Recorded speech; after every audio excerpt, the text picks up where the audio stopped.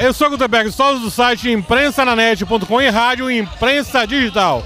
Nós estamos aqui na Passarela da Cultura, Carnaval 2023.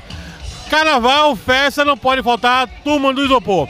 Nós estamos aqui com o Esther, que está trabalhando aqui já há três dias, é, quatro dias, e vai falar agora como está o movimento, como foi o procedimento para se cadastrar e estar trabalhando aqui no Carnaval.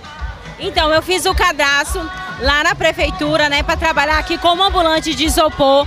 E estou gostando muito que eu estou ganhando aí um dinheirinho extra. E eu tenho duas filhas, né? Minhas filhas estão tá podendo ficar na creche enquanto eu estou aqui trabalhando. Eu nunca vi isso aqui na cidade de Porto Seguro, gente. E eu queria agradecer ao prefeito Jânio Natal.